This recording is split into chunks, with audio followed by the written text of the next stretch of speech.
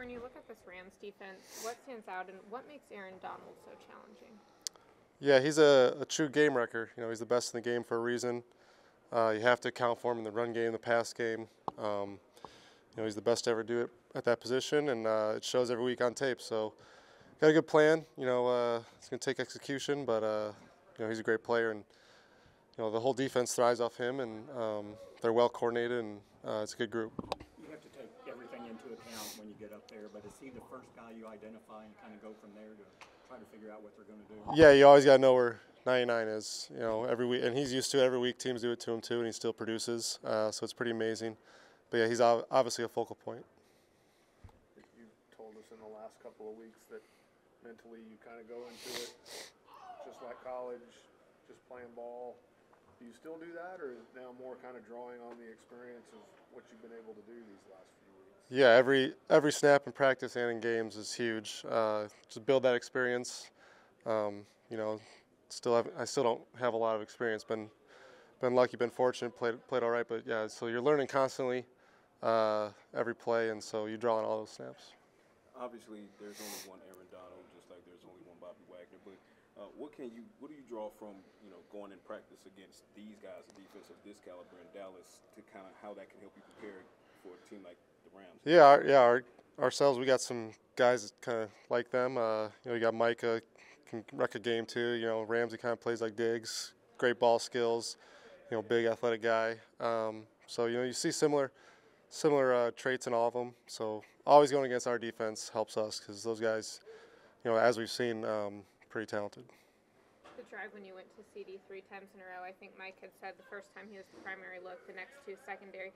Were you surprised that you, that it ended up going to him three times in a row? And what's it like when you're in the middle of that series? Yeah, he made a great read on the first one, got inside, uh, made a good catch and run, and then yeah, he just popped. He was open uh, two times in a row. You know, we tried to get a shot deep, and uh, you know they took Turp deep, and he's sitting there in the middle of the field wide open. So the ball finds him. You know, we do a good job of scheming it up. I think Hell does a great job of, you know, making him available at all times. And, uh, you know, yeah, he just got open. Do they still move Ramsey around, or do they kind of keep him in one spot? They used to put him in the slots. Yeah, he'll play a little nickel. He'll play in the slot a little bit, and then to the boundary. You know, he kind of goes everywhere. Um, you know, so you just got to be ready, you know, wherever he, wherever he's at. So you first look for 99, and then you look for five. Yeah, 99's first, and then uh, yeah, he's always first. Cooper, I, I, know you, I know that you don't ever want to be behind, but when you guys have been behind or they've scored a touchdown, you seem to have been able to answer right back in multiple games. Why, why do you think that is?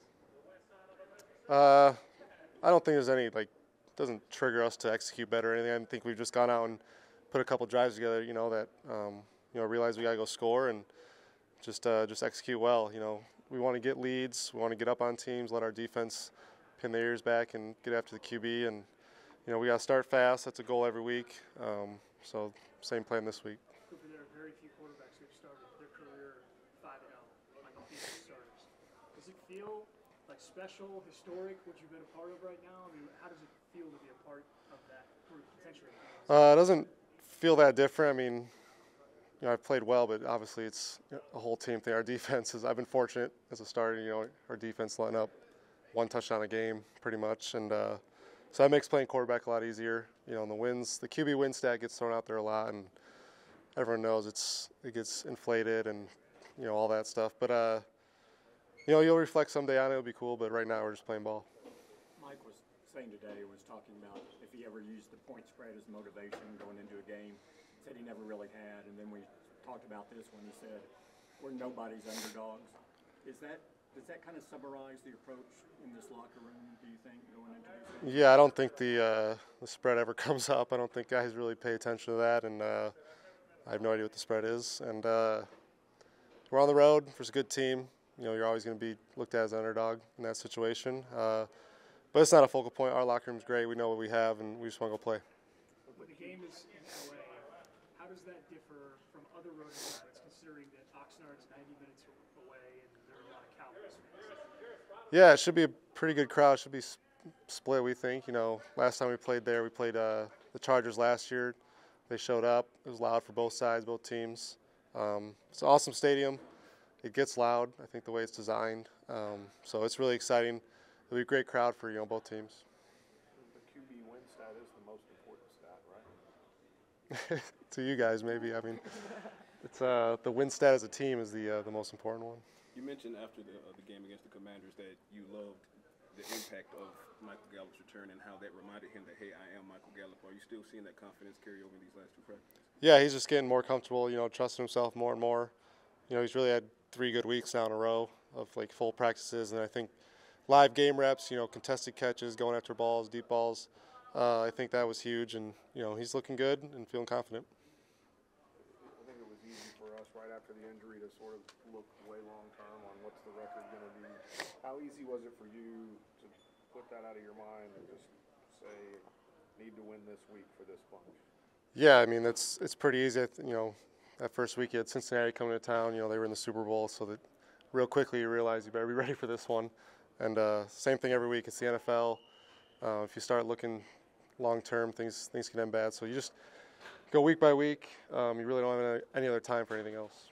Mike talked earlier this week about how, as a play caller, you could either play to win or play not to lose, particularly when you have a backup quarterback coming in, and how they haven't had to play not to lose. They've still been able to give you all those opportunities. What has surprised or impressed you most about the play calling? Uh, we've just been we've been really efficient in the run game. Uh, I think everyone's trusting the run game. The backs are doing a great job up front. We're doing a great job. Um, that's really opened the play action pass. You know, we got to get better on third down. Starts with me on third down, the red zone. So, really want to improve there. Um, you know, I think we're getting better and just play smart, trust our defense. You know, and make plays when they're there. All right. Yep. Thank you.